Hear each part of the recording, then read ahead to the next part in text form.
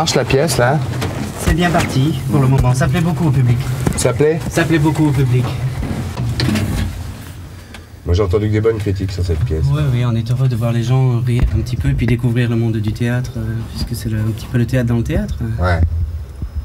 Et ça plaît beaucoup. Et à nous, les gens trouvent ça actuel, ils sont pas. Bah, la plupart des gens pensent que c'est poussiéreux à Nouilles. C'est toujours Ouais, pareil. On se dit, ouais. ah, ah, ça va être poussiéreux. Ouais. Et là, finalement, on a fait du dégraissage. Alors finalement, ça, ça passe bien. On était un petit peu à l'essentiel. Et il y a eu beaucoup de coupures dans le texte. Et puis une façon de diriger tout ça qui a amené un petit peu vers l'essentiel. phrasé aussi. Oui. C'était un petit peu le but.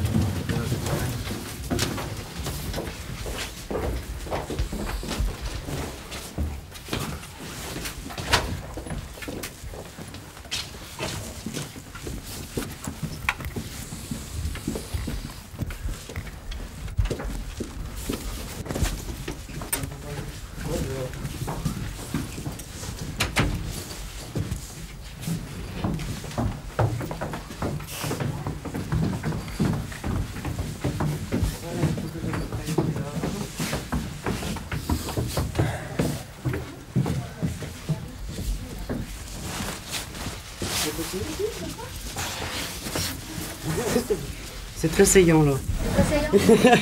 Voilà, on y est, on y est arrivé. Ça y est Ça va? Bah ouais, vous arrivez bien, hein Bah justement, j'ai fait exprès d'être un peu en retard parce que je me suis dit si je viens trop tôt, Ouais, elle sera en habit de ville, alors que si Ouais. j'arrive à cette heure-là, c'est le moment où elle se change. et ouais, c'est ça. C'est Ouais. exprès, quoi. Je suis un vieux Le cochon là. vice, le vice dans ton regard. C'est terrible. hein c'est joli ça.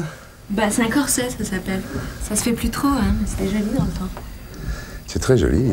C'est pas ce que je porte, hein. Il y a les robes par-dessus, Ah bon ça, ça va Ah ouais, ah bon, mais on se casse alors. ah bon, à nouilles, c'est pas un truc. euh, Si, quand même. Bah si, quand même. Si, si. C'est d'ailleurs l'intérêt de porter Ouais. tout ça, c'est qu'il y a quand même un moment où je, l'en- où je, où je le montre un peu. J'enlève. Alors, c'est quoi l'histoire Raconte. Ah, l'histoire de Colombe. Ouais. Euh, c'est l'histoire d'une jeune femme qui est, qui est, qui est lâchée au milieu de- du monde du théâtre.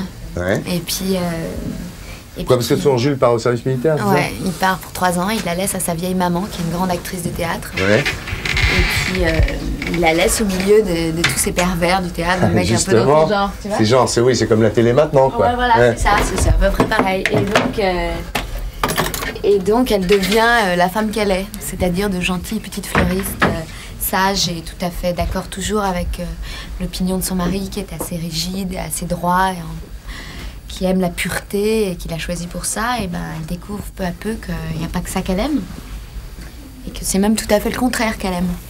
Ce qu'elle aime, Elle l'oublie alors, le, le Julien, à la fin? Ah, ben, c'est surtout qu'elle le trompe avec son propre frère. Arrête tes conneries. Ouais, ah bon? Ouais. C'est bien, dis donc. Qui est un type qui s'occupe d'elle, quoi. Qui lui Ouais. dit qu'elle est belle, qui lui fait des cadeaux. Bon, je te demanderai pas la fin, parce que sinon, il n'y a plus de suspense. Ah, euh, ouais, ouais. Et à nous, ça passe aujourd'hui? Ça passe bien, ouais. Ouais. Je Vous l'avez un peu dépoussiéré. On l'a dépoussiéré parce qu'on l'a, on l'a raccourci, on l'a. Ah, c'est moins bien. Enfin, c'est moins bien. C'est-à-dire, je préfère avant. ça devrait vachement bien, dis donc. ouais, hein, on dirait pas, j'ai l'air sage Ouais. comme ça. Ouais. T'es Ouais. comme l'héroïne, finalement. Un peu, ouais. Hein Ouais, ouais, c'est ça. Ton Jules, il veut pas partir au service militaire, non? Non, il, il s'est fait exempter, tu rigoles. Ah ouais T'as pas de peau, là. Elle est gentille, euh, Laure, oui Oui, très. Sûr, hein? Rassurez-moi. Très. Elle doit aller Oh, pour ça- dire du bien. Ouais, c'est ça. Ça m'aurait été. Ah non, parce que c'est pas fini, c'est la petite maison dans la prairie Oh c'est Si, si, beau. si. Après, je peux plus bouger, quoi. Tu vois, entre le corset et le chapeau en carton, je suis, voilà, je, je- je suis faite comme une rate. Et alors, vous allez chez qui après? Bah nous, si tu veux, on fait beaucoup dans la boîte de partout, quand même. Ah ouais, ouais, Bah, ça, c'est je normal, sais, je ouais. sais. ouais.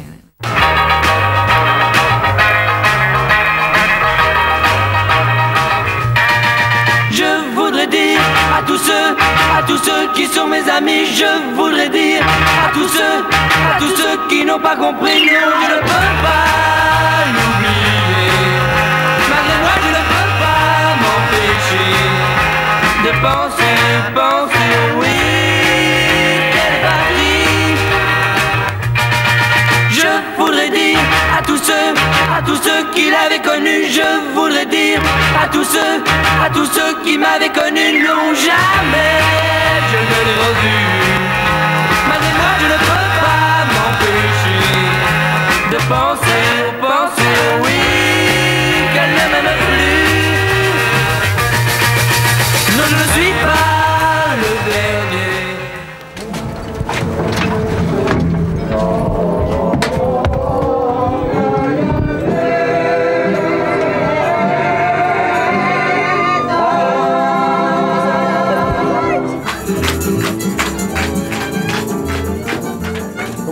fils Très bien, très bien. Tu sais que là, tu as le... ma fille Aurélie. Non. Ouais, ouais, absolument. Vous êtes la fille d'André? Tu sais que la vodka, c'est le joint du slave. Ah, la vodka, c'est le joint du slave. Ah, ça commence très fort. Les origines, très bien. C'est bien ici, c'est un vrai resto russe. C'est un vrai resto Ouais. russe, pas touristique. Ouais, c'est le resto russe des Russes. ouais. C'est le resto russe des Russes, c'est le resto russe des Français qui aiment bien la musique russe, et c'est le resto russe où tu te sens chez toi. Donc euh, c'est bien. Donc t'es content, quoi. Ouais, ouais, ouais. Mais ta Derrière. femme, c'est pas russe. Si, je rigole. Il me dit ça y est, ça y est, de maintenant. Attends, truc d'origine, lointaine origine. Très lointaine origine.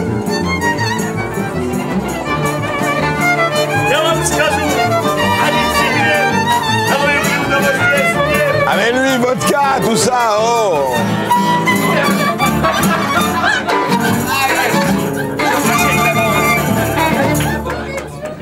alors, comment ça va? Écoute, je vais te dire comme quelqu'un qui est allé au théâtre. Tu es allé au théâtre, tu es allé voir Je quoi suis allé voir Peter Brook Ah ouais. dans son explication de Hamlet. C'était assez touchant. Et puis voilà, qui se retrouve chez les Russes. De toute façon, où que tu sois, tu te trouves chez les Russes, tu sais bien. Tous les chemins mènent à Volgograd. Mais en fait, t'es, né- t'es russe, mais. Non, je suis pas russe, je suis pas né en Russie. Je te dis, mes arrière-grands-pères étaient Beyrouth. russes. Oui. Non, mais mon arrière-grand-père est arrivé à Paris en 1890. Pour Ah tout bon te dire. Absolument. Et après, mon père, quand il y a eu le mandat français sur le Liban, est allé au Liban, mais par le mandat français. Ah, en fait, Absolument. ah ouais, t'es un immigré au Liban. Je suis un immigré franco-russe au Liban. Voilà. Et je suis né au Liban, j'ai grandi, et après, je suis retourné à Paris. Et, et- et si tu veux, donc je ne connais pas le russe, je- mais j'adore la musique russe, c'est vrai. Et j'aime bien, tu vois, ces ambiances-là. Mais t'as l'âme slave. hein. Écoute, j'aime bien le- leurs Déjà traîné dans les bars jusqu'à point d'heure, excusez-moi. Hein. Bon, c'est vrai que j'aime j'aime l'excès. D'abord, j'aime que la démesure. C'est vrai que j'aime les gens de démesure. Et que la nuit, bon, on va pas faire les clichés sur la nuit, mais c'est vrai que le fait d'avoir pas de montre, d'avoir pas de rendez-vous, d'avoir pas d'horaire, d'avoir pas de limite, c'est quelque chose qui te change. euh, Bon, c'est bien. T'as beaucoup traîné la nuit, quoi. mais- Beaucoup. Mais sans, pas systématiquement, tu vois. Parce que tu as des fonctionnaires de la nuit. Ouais. Et il faut pas te devenir fonctionnaire de la nuit non plus, tu vois. Mais euh, quand je me sens bien, je reste très longtemps. Si je me sens pas bien, je m'en vais. Y a pas... Mais si tu veux, je, je préférerais mille fois, euh, tu vas rester avec, avec un bon libre, que de m'emmerder avec des gens avec qui j'ai rien à dire. Donc euh, voilà, mais la nuit c'est bien. hein. Et la nuit, aucun chat n'est gris. Jamais. Une chatte non plus d'ailleurs. Il y a des endroits où tu vas plus quand même trop, là. Tu parles des endroits... Elle s'appelle comment ta fille? Aurélie. Aurélie, est-ce que tu peux te mettre les deux mains sur les oreilles, Aurélie Non, non. Ah bon Non, non. Tu alors veux je vais- pas Non, je veux pas. Aurélie Je sais de quoi tu vas parler, c'est pas la peine. Mais pas du tout, hein. t'as déjà vu l'émission alors Ah ouais, j'ai déjà vu. Tu sais que cette émission est une quête, en fait. C'est le- C'est une émission qui est basée sur le concept du Graal, contrairement à ce que les gens pourraient croire.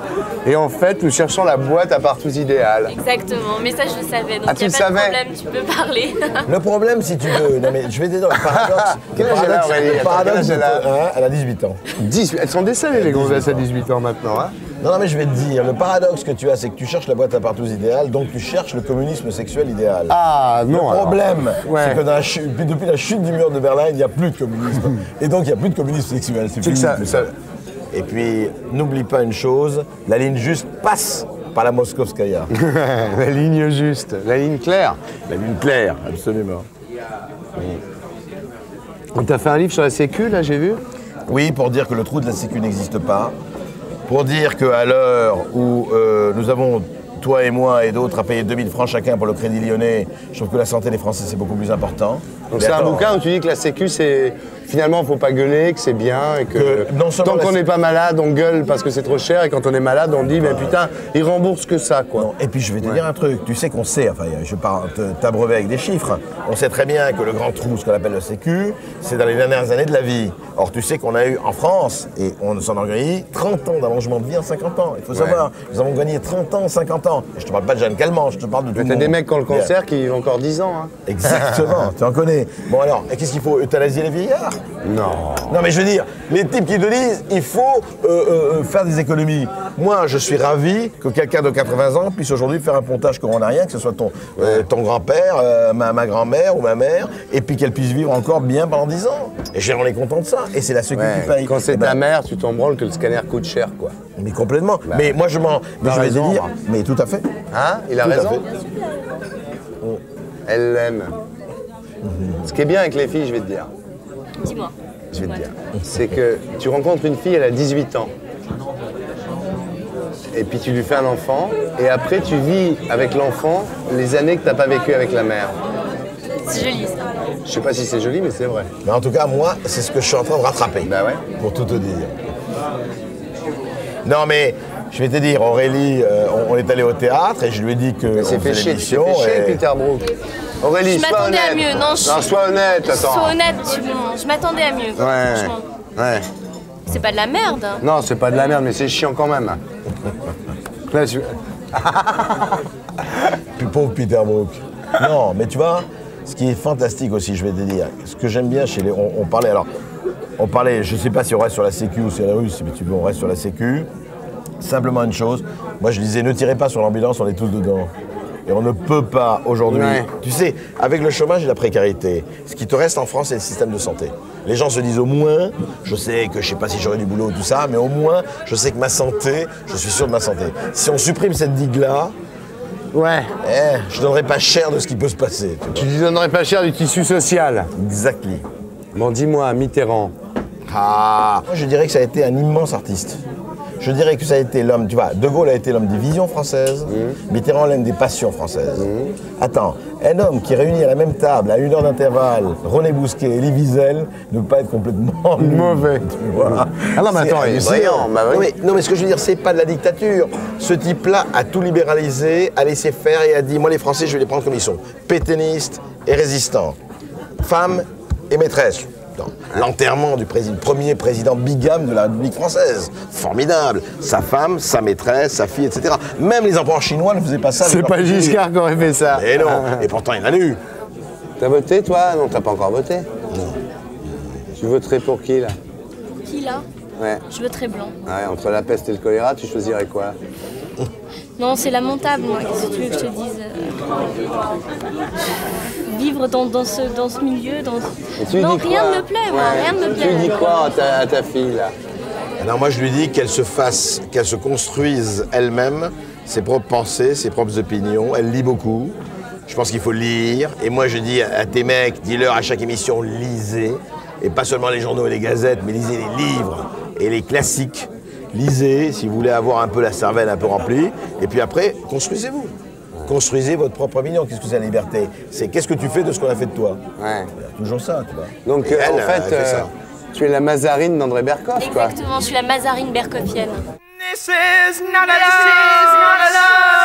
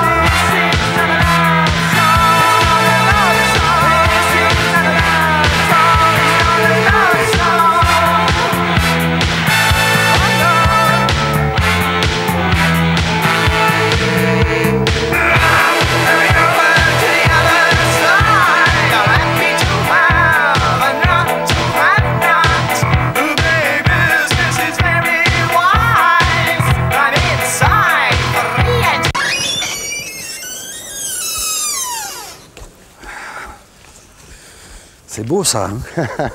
Attention, ça glisse. Dans ce pelle de froid, là. Tu as la clé? Bah, j'allais sur la porte, je crois. Je vais te Enfin, montrer, j'espère qu'elle est sur la porte, parce que sinon, les gens. je vais te montrer Ouais, un, en- un allez. endroit magique. Absolument magique. Allez.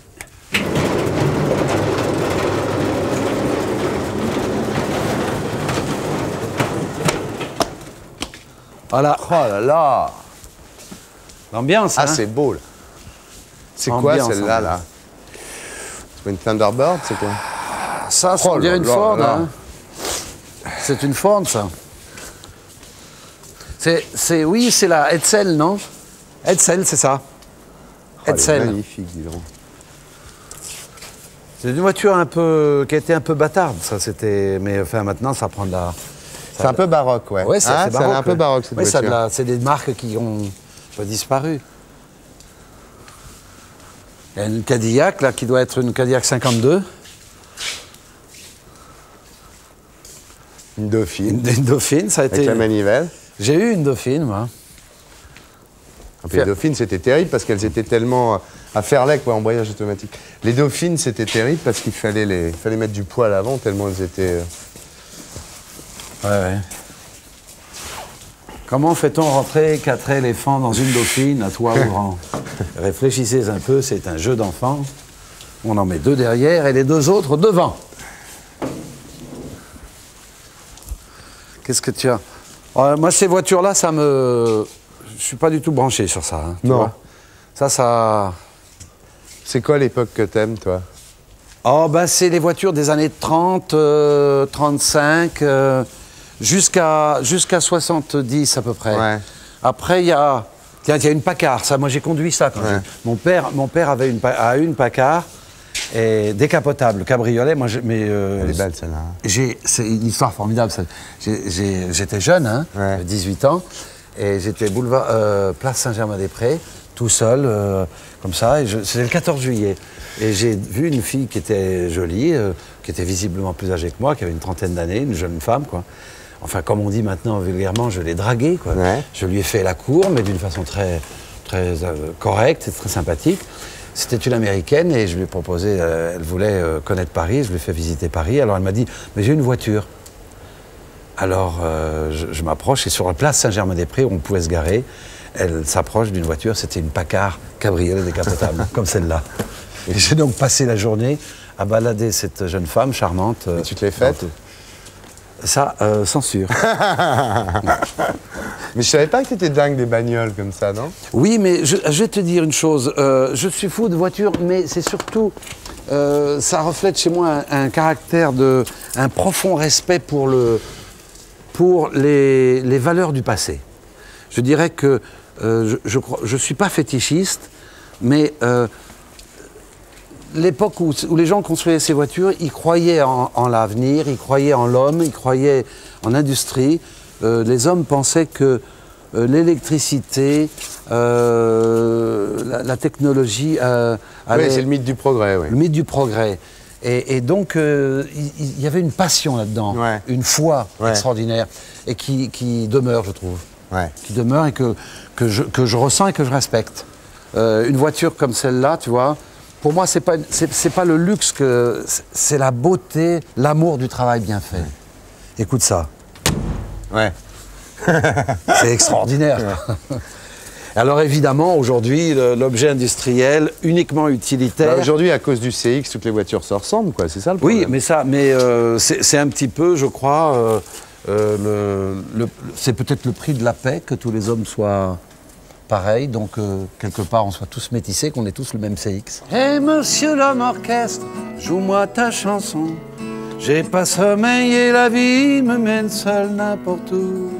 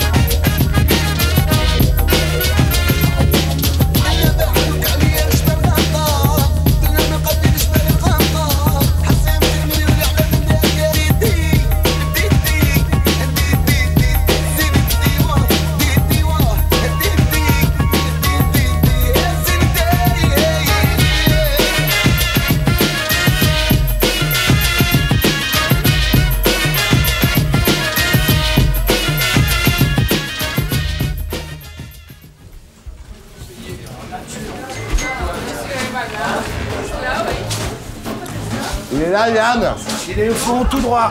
Au fond. Ouh, yeah, yeah. Ouh, Ouh, Ouh,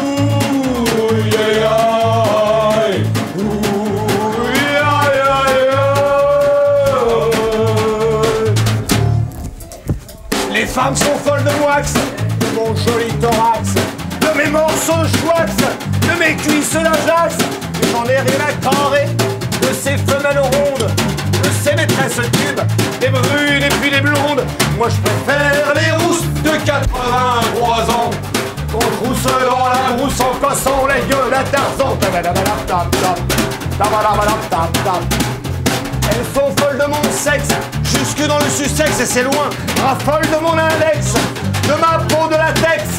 Collectionne mes braguettes, mes négos de cigarettes. Se traînent comme des bêtes devant mes pieds d'athlète. Et moi je préfère les rousses de 83 ans. Qu'on trousse dans la brousse en cassant la gueule à Tarzan. La la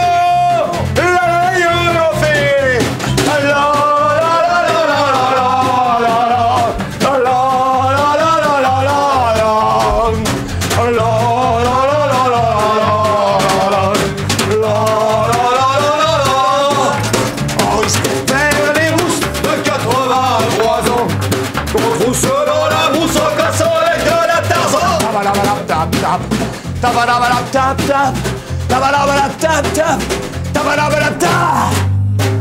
J'ai eu comme maîtresse la femme de Rambo 1, la fille de Rambo 2, la mère de Rambo 3 et la tante de Rocky.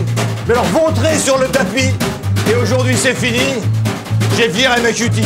Et moi je préfère les rousses de 83 ans. Qu'on trousse dans la brousse en cassant la gueule à Tarzan. Je préfère les rousses de 83 ans. Qu'on trousse dans la brousse en cassant la gueule à Tarzan.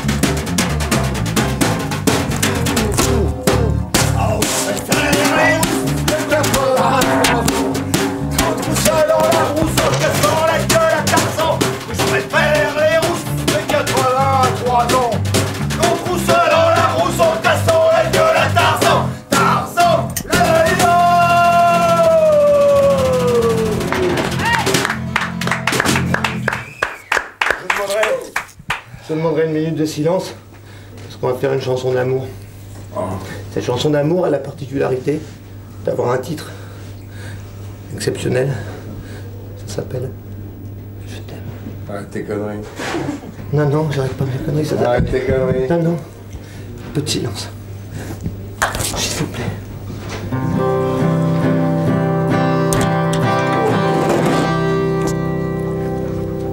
On est allé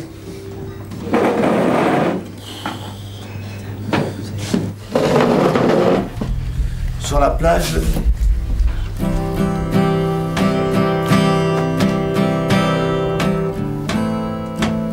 C'était bien sur la plage. Elle m'a dit je t'aime, alors je lui ai dit. J'avais rien d'autre à foutre, je lui ai dit moi aussi. Bah tiens, je t'aime.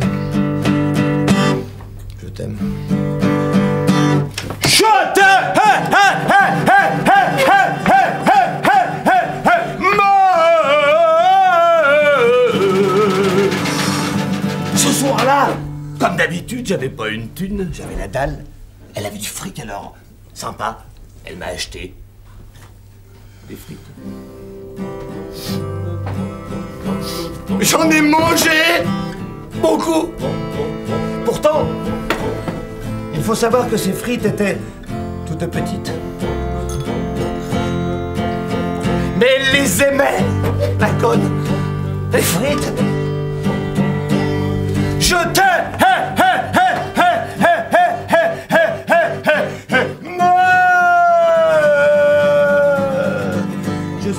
Très timide, alors exprès le soir pour me faire chier, elle me regardait. Ça me gênait un peu. Alors, elle riait comme monde ailleurs. Il faut admettre qu'on était heureux. Très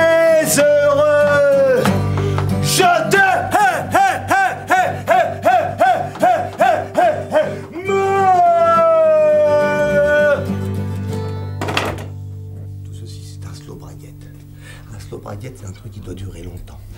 Parce qu'on se frotte braguette contre braguette, puis au bout d'un moment, on éjacule peut-être, on éjacule pas, on sait pas. Mais c'est un slow braguette. Donc Frédéric Françoise m'a dit l'autre jour, il faut trouver un couplet plus con que les autres, pourvu que ce soit plus long. Plus con, j'ai du mal. J'ai trouvé. On parlait comme des enfants. Euh, fond, la tulipe. Qu'elle ne m'a jamais donné, d'ailleurs, maintenant que j'y pense. La salope Je t'aime Je t'aime.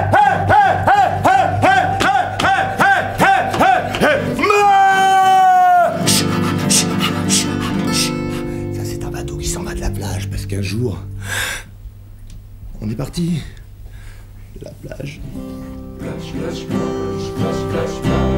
C'était fini l'été. On s'était bien amusé. Youpi Qu'est-ce qu'il dit Je t'aime. Je t'aime.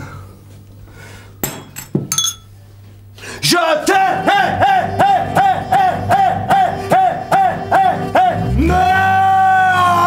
Un jour, un jour, elle m'a quitté.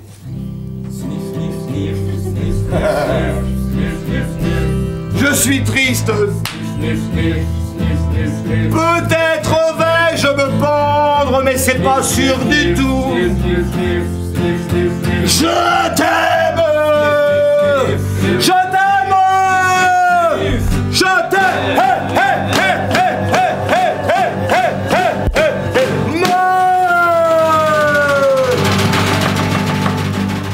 Je t'aime, mais de loin.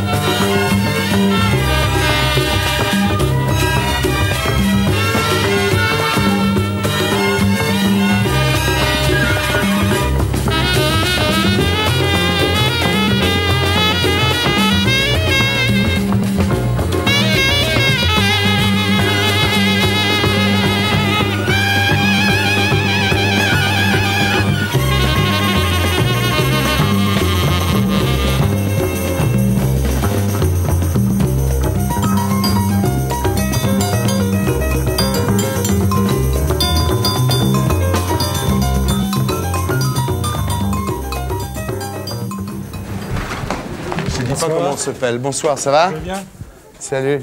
Elle est là, alors Bonsoir. Brrr.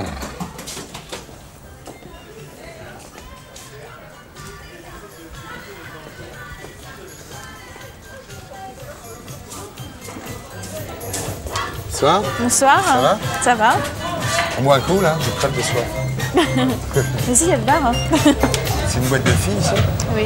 Ah bon Oh, C'est un privilège de rentrer, alors. Ouais, c'est un privilège. D'habitude, il n'y a pas de garçons. Oh, il y en a quelques-uns, je pense. Mais peu. Peu C'est quel genre de garçons qui sont admis ici Ah, ça, faut lui demander, hein. Quel genre de garçon Qui sont admis ici, en général Tous les garçons les Ah bon Ah ouais, ouais, ouais. Sinon, Mais euh, comment vous savez qu'ils sont tolérants On le voit, on le voit. Est-ce que j'ai l'air tolérant, moi A priori, oui, ça a l'air de passer. Génial Donc je peux revenir Ouais. Super Ouais, ouais. Moi je boirais bien un coup là. Euh... t'as du champagne non Ouais, une sorte de champagne volontiers, ouais. Les filles voulaient voir petit euh, non, de champagne. Euh, moi Tu vas souvent dans les boîtes de filles, toi? Assez souvent, ouais, j'aime ça. Ça te plaît? Pourquoi pas? T'aimes les filles? Hein? Un peu comme tout le monde. C'est une boîte de filles, ici Ouais, c'est une boîte de filles. Exclusivement de filles. Exclusivement de Exclusivement. Elles ont quel âge en général, les filles qui les Ça va de 18 à 50. 18 à 50 Ouais, ouais. Toutes, euh, toutes, ah, tous âges confondus. Il n'y a pas de, de jeunes où tout le monde se mélange. Et comme c'est une boîte conviviale, eh ben, tout le monde s'apprécie et tout le monde s'aime. Voilà. Il se passe des trucs un peu ou c'est juste un Genre. rencontre pour des trucs Genre. qui se passent après Genre, il se passe quoi? Des rencontres, tu veux dire? Des rencontres, je suis sûr. Oui, bien sûr qu'ils s'en passent. Mais Bah ouais. euh, Maintenant, ça s'arrête là. Ouais, ça s'arrête là. Ouais. Ouais, ouais. Absolument. y a longtemps que c'est ouvert? Euh, depuis 6 mois environ. Ouais. C'est un nouveau lieu. Ça marche De- bien Ouais, ça marche bien. C'est à la mode bien. en ce moment, les Gouines non Ouais, ouais, c'est Hein très à la mode. Tu trouves Non, je sais pas, c'est- je sais pas, on dit ça dans tous les Ouais, ouais, non, non, c'est très à la mode. C'est un nouveau style de vie. C'est parce qu'on commence à en parler ou qu'on accepte d'en parler ou ça a toujours été comme ça ou il y a une mode Je pense que c'est une mode. Ouais. Exclusivement une mode. Il y a besoin d'être, reconnu, il y a besoin de plein de choses. Et bon, les filles, ah, les filles, elles existent, hein, elles vivent entre elles, les mecs, c'est pareil. Et puis, euh, pourquoi cacher cette vérité, puisqu'elle est là? Mais pourquoi il y a plus de filles qui se font des filles en ce moment Peut-être parce que les mecs, ils assurent pas. Ah bon? Je sais pas. Il y a combien de temps que tu t'es pas fait un mec Oh, moi, ça fait 15-20 ans. Ouais, donc tu sais pas comment ils sont les mecs aujourd'hui. Ouais, non, mais attends, euh, c'est du rapide. hein. Tu Hmm. sais, le système de drague maintenant dans les boîtes, c'est pas euh, je t'invite au restaurant, je t'offre un Ouais, verre, c'est ouais. bon, euh, tu me plais, allez hop, on rentre ensemble. Ouais. C'est fini Alors la que chez drague. les filles, il y a encore un romantisme. Mais même maintenant. Enfin, c'est ce qu'elle nous disait. Elle nous disait, Maintenant, j'ai c'est besoin comme de. ça. Donc il n'y a plus cette espèce de tendresse, tout ça, c'est sauf celles qui ont passé 40 ans, tu vois, Hmm. comme moi par exemple. J'ai besoin de ça. Quelqu'un qui me dit on veut tout de suite, je dis non. Mais quelqu'un qui me qui Hmm. me drague, je dis oui, bien sûr. Même si c'est un mec. Non, pas les mecs. J'ai Ah. choisi. Oh, écoute. euh, Mais je sais pas, mais qu'est-ce qui t'a fait arrêter les mecs alors? Parce que, euh, qu'est-ce qui m'a fait arrêter les mecs? C'est très simple, c'est que j'ai rencontré les filles, enfin Ouais. j'ai rencontré une femme, et puis ça, ça a été dix fois mieux avec une femme Ah ouais, t'aimais pas ça quoi. Non, c'était beaucoup moins bien. et Je trouvais que la femme était beaucoup plus tendre, était beaucoup plus... euh, Tu prenais plus son pied que les Ouais, gonzesses. quoi. totalement. Ouais. C'est pour ça que j'ai viré de ce côté-là. Mais là, t'es dans un endroit stratégique là pour faire des filles. Complètement. Hein ouais. ouais, ouais, tous les Tu soirs. t'ennuies pas là T'as du tout tout. ce que tu veux là. Tout ce que je veux. C'est une question de choix. Question Comment tu la trouves la petite Elle est très non jolie. Hein Quand tu fais l'amour avec une fille, tu- t'as des godemichés, des trucs comme ça ou non Euh, ça dépend, ça dépend de la demande. Si Ouais. les filles veulent des godemichés, je prends un godemiché. Si elles en veulent pas, j'en prends pas. Toi, t'en as pas besoin en tous les cas. Non. Non, Ça t'intéresse vraiment pas la pénétration quoi. non, non. T'es une vraie Gwyn alors. Ouais, je pense. Je pense. Euh, Et toi je voue un culte. Même avec une fille, t'as besoin d'un god ou non Non, pas obligé. Qu'on se mette tous les deux ailleurs. Si tu veux, ouais. T'as quel âge J'ai 23 ans. T'as pris comment de faire des films porno J'ai commencé comme ça, au hasard. Marc Dorcel m'a choisi et voilà. Mais comment il t'a choisi? Il a fallu que tu fasses un casting ou un truc comme ça Disons que j'ai travaillé un peu sur M6. Arrête tes conneries sur Si, M6 Sur euh, Sexy Zap, quoi. Ah d'accord Ah bon, tu faisais pas le. Tu faisais pas Matin Express quoi Non, non, pas du tout. Ouais. Alors, le premier jour, t'as fait quoi? Premier jour, euh, j'ai d'abord fait de la figuration. Mhm. On m'a pas mis directement dans le hit pour que je vois comment ça se Ouais, passe. pour que te dans le bain, Voilà, ouais. exactement. Et après, euh, deuxième jour, encore de la figuration et avec un peu plus de repos. Et le troisième jour, c'est là que j'ai commencé à faire mes scènes. Et t'as fait quoi? J'ai fait euh, Vaginal euh, avec Christophe Clark. Ça allait ça? Très, très gentil, agréable, il mettait en confiance, il m'a mis à l'aise et tout. Aucun problème, vraiment très très bien. Te raconter des histoires pour te. Un peu dans ma tête. Ouais. Parce que sinon, ça doit être difficile quand même. C'est très, très très difficile, surtout que quand tu l'as jamais fait, euh, c'est impressionnant. quoi. Ouais. Sinon, euh, ça se passe bien quand même. Mais bon, faut se raconter quelque chose dans la tête et Ouais. après, euh, impeccable. J'ai- Je m'imagine des choses dans la tête pour me faire un peu mouiller, des trucs comme ça. Ouais, que ce soit plus facile quoi. Voilà, pour que j'ai moins mal, parce que Ouais. quand ça dure très longtemps, c'est quand même pénible. Mais sinon. C'est euh, pas beau à l'image après. Voilà, exactement. Ouais. C'est ça le problème. Je pense toujours à être bien l'image. Donc je Mm. pense dans ma tête, je fais un petit fantasme ou des trucs comme ça. T'imagines et- des trucs. euh, Voilà, bien sûr, qui m'excitent. Et après, euh, comme je mouille un peu, il n'y a pas de problème. T'avais jamais travaillé avant Non. C'est ton premier boulot, quoi. Voilà. Enfin, je travaillais avant comme vendeuse, mais dans le X, non. Euh, Comme vendeuse. Tu vendais quoi? Des vêtements. Ah bon Tu préfères le X ou vendre des vêtements? Je n'ai pas de préférence. c'est un métier, puis voilà. Ouais. Ouais. Soit vendeuse, et maintenant je suis dans le X. T'avais un Jules quand t'as commencé le X? Comment? T'avais un Jules quand t'as commencé le X? J'avais un petit ami, oui. Tu lui as dit? Oui, bien sûr. Qu'est-ce qu'il a dit? Rien. Il est d'accord, lui. Ça dérange C'est pas qu'il est d'accord, c'est il m'accepte comme ça. Ou, euh, Ouais, ou il se barre. Non, il se barre pas, mais bon, il apprend. Tu hein. l'as mis devant le fait accompli un peu d'une certaine façon. Un peu, ouais. Ouais. Mais il est assez compréhensif. Il est tolérant, Voilà. Comme on disait à l'instant. Et alors, c'est, par exemple, dans ce que tu bon, acceptes de faire des trucs pas vaginales, tout ça, mais qu'est-ce que tu n'acceptes pas de faire, par exemple? Toutes les choses moches, vulgaires, j'aime pas ces trucs. Je reste toute simple. euh, Anal, t'acceptes, de toute façon? J'ai fait anal. De toute façon, tu le faisais dans ta vie privée avant, déjà. Oui, bien sûr. C'était pas une surprise. C'est pas une surprise, mais sur le- les tournages, c'est- différent que dans la vie privée. Pourquoi La vie privée, c'est plus intime, tu as plus envie de le faire que sur un tournage. Tournage, tu le fais parce que c'est ton travail. Ouais. Vie privée, c'est autre chose. C'est comme toi, tu fais l'amour avec ta femme, voilà, machin, et c'est pas du tout comme un tournage. Ouais. C'est différent. Il y a des choses que tu as été obligé de faire dans les films X que tu faisais pas dans la vie privée, par exemple? Non, je, je fais ce que j'ai envie et euh, si j'ai pas envie, je dis non. Puis voilà. Par exemple, la double peinée, euh, tu l'as jamais fait, ça Non. Il faut bien s'entendre sur le terme de double peinée, d'ailleurs, parce que les gens... Oui, euh, il y a double pénétration anale ou alors double pénétration vaginale et anale, c'est ça que tu veux dire Simultané. Voilà, oui. Donc toi, tu faisais la, la double euh, peinée anale et vaginale, c'est pas un problème. je le fais dans ma vie privée, mais euh, pas sur les tournages. Anal et vaginale simultanément, tu le fais dans la vie privée. Ouais. Mais la double peinée anale, ça, tu le fais Non. ni dans la vie, Non, ni au cinéma. Jamais je Elle le s'en va, ça la dégoûte. Non, ça, ça m'intéresse pas du tout de faire ça. elle est partie, ta copine. Ouais. Je sais pas si ça la dégoûte, mais elle est Hein partie. Elle est partie. Dès qu'on parle de pénétration, à mon avis, ça l'a choqué. Mais dis-moi, donc la double péné, t'es pas d'accord Il t'a proposé, Dorcel, tu as dit non. Pour l'instant, non. Ouais. Je veux pas. Je veux attendre. euh, Le jour où je me sentirai bien pour le faire, je le ferai. Mais sinon, je le fais pas pour Ouais. l'instant. Et quoi d'autre alors tu refuses de faire? Facebooking, euh, plein de choses. Ah hein. ouais, c'est terrible, ça. Non, ça, j'aime pas du tout. Ouais, non, tu vas pas faire ça quand même. C'est trop moche pour moi. C'est trop moche. Bon, fils fucking, je comprends. Voilà, à part ça, t'es d'accord pour tout. Non, non, non. je te dis, moi, je fais juste euh, vaginal, anal, voilà, point Voilà, c'est tout. Fellation. euh, Fellation, oui, bien bon, sûr. Pas de problème. Mais je ne fais pas des choses moches. Ouais. Vulgarité, je n'aime pas. T'es assez pure comme fille finalement. J'essaye de rester pure, Ouais. naturelle.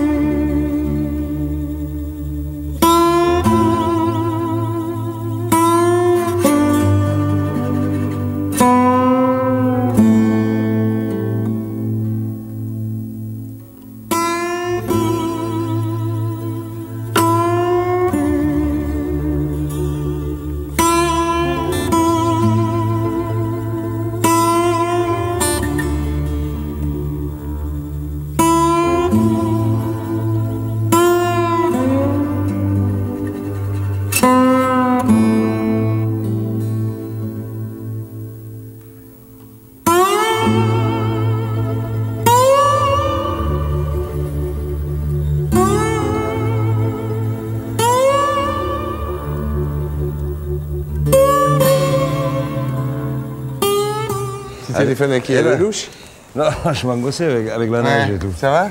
Ouais, et toi? Ça va bien? Et Lelouch, il est où? Eh ben, oh, il doit être au lit, là, en ce moment. Comment c'est le tournage? Très bien. Très, Ça se passe bien Ouais, super. Tu fais quoi comme rôle? Euh, je fais un mec qui a un bar, tu vois, qui se trouve juste euh, à l'endroit où ils sont en train de faire le stade euh, de France. Ouais. Et le mec, il a juste ce bar qui est resté. euh, Ah ouais, comme le dessin de Sampé. Voilà. Ouais. Et toi, c'est ton bar. Ils vont faire le Stade de France à l'endroit où il y a ton bar. Exactement. Et toi, tu veux pas partir Ah non, non, mais lui, il part pas. Il est Ouais. juste devant l'entrée. Ah C'est-à-dire qu'il a gagné le loto, quoi, quelque part, Ouais. tu vois. Voilà. Ça va? Très bien. Tu vas où là? Eh bien, je vous cherchais, alors j'ai dit... Bon, On y euh, va, on y va, on va au, au festival. hein? Eh bien oui, on va jouer Alors, au cowboy bien. C'est par là? Oui. Et là, tu étais où avant alors On a traîné. Une boîte- en, en- en fait, une boîte de Gwyn, pour dire la vérité. tu veux, la vraie question avec les Gwyn, c'est de savoir si. Parce que c'est l'usage du godemiché. Et t'as la Gwyn qui utilise le godemiché, t'as la Gwyn qui n'utilise pas le godemiché. Et en fait, la ligne de fracture, elle est là. En fait, c'est la seule vraie ville nouvelle qui est autour de Paris, quoi. Parce que c'est Parce que tout le monde fait des villes nouvelles depuis des années, mais ça, c'est une vraie ville nouvelle, quoi. Puis en plus, tu rencontres des gens qui parlent toutes les langues. Ouais. Des blacks, des moins blacks, des, des euh, bridés, tu vois. Et tout ça est au milieu. Et tout le monde a la banane, quoi, quelque part. tu vois, et ça, c'est, c'est quelque part irréel, quoi. C'est la tour de Babel, mais avec de la dance music, Ouais, quoi. ouais, ouais. Ouais. Je veux dire, il n'y a que toi qui pouvais faire venir à Disney, hein, je te le dis, parce que. Enfin, Mais non, mais dans la plus- journée avec mes mômes, je veux bien venir, mais, Mais, le mais- soir mais comme c'est, ça. mais c'est irréel en plus. Ah ouais, c'est surréaliste, En plus de venir là comme ça. Ah ouais, ouais. Non, la seule question qu'on se posait en venant, c'est de savoir si, euh, si Minnie avait une culotte, mais bon, le reste. Ah ben, euh, Mickey m'a dit qu'elle n'en portait pas toujours. Et où on va là? Ouais, mais, ouais, là. Tu vas voir, ben, écoute, c'est une surprise. Toi, tu fais toujours des surprises à tout le monde. Il faut bien qu'on t'en passe à toi. Ouais. Tu étais où avant Bah avant, j'étais dans une boîte de Gwyn. tu me diras, question surprise, Ouais, c'était ben, pas eh ben, mal eh non ben, plus, eh ben, tu vas voir. Tu vas voir, tu vas être vert. Ouais. Parce que là, on va se re- quoi, replonger, replonger dans notre univers de môme. Tu vas voir, viens avec moi. Là, tu as une échelle. Oh là. viens, viens, tu vas voir. Ah oui, oui, mais écoute, faut de temps en temps que tu sois un peu surpris, toi. hein. Alors, voilà. Tu vois, par terre, il y a du sable Ouais. pour être à la plage. Ouais. Eh ben non. Alors, et Quand par magie. petit, t'étais à la plage, toi? Ouais. Et, et tu jouais aux cowboys et aux indiennes, toi, non? Sans arrêt, ouais. Hein? Tu vois, bah, tu sais, les rêves sont toujours très difficiles à arriver. mais, mais tu vas voir que petit à petit, tu vois Alors ça, c'est tout, euh, tu sais, les musiques de môme et tout, avec euh, les livres de cowboys et tout. Et petit à petit, voilà, découvre l'Amérique. C'est génial. tu vois, avec les rochers.